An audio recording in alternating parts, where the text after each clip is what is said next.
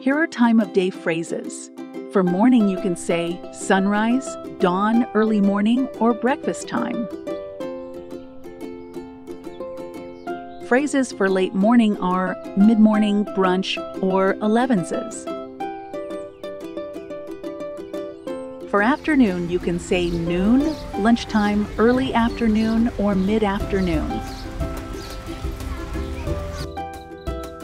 Instead of saying evening, you can also say sunset, dusk, twilight, or dinner time.